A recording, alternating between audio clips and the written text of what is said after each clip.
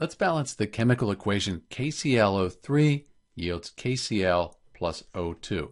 We'll also look at the type of reaction and write the states. Let's start with the type of reaction. We have KClO3 here, this potassium chlorate. It's breaking down into two separate things. So we start out with the one thing, we end up with two things. Type of reaction is decomposition. Let's balance the equation. We have one potassium, one chlorine, and three oxygen atoms in the reactants. In the products, we have one potassium, one chlorine, and two oxygen atoms. Probably the best thing to do when we have this odd number of oxygens here, let's multiply that by 2. So our coefficient of 2, that'll make this an even number. 3 times 2, that gives us 6. Then we have the 1 times the 2, 2 chlorine atoms, 1 times 2, 2 potassium atoms.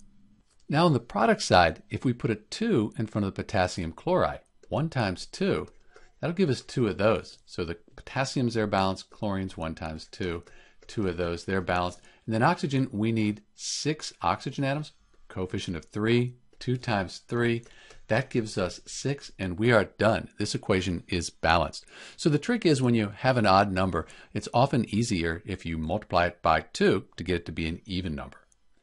We wanted to write the states for this reaction, they look like this.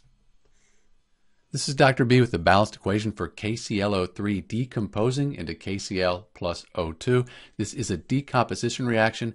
Note that because the chlorine and the oxygen, they're changing their oxidation states, this would also be a redox reaction. Thanks for watching.